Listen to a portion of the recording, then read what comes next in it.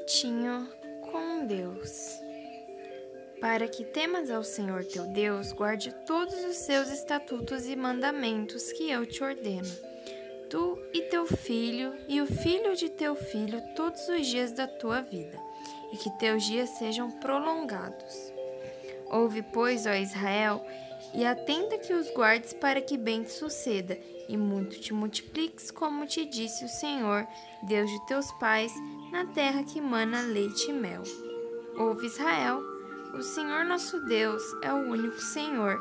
Amará, pois, o Senhor teu Deus de todo o seu coração, de toda a tua alma e de todo o teu poder.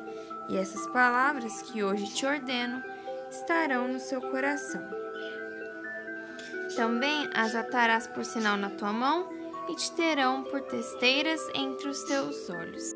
Que todos vocês sejam muito abençoados em nome do Senhor Jesus. Amém.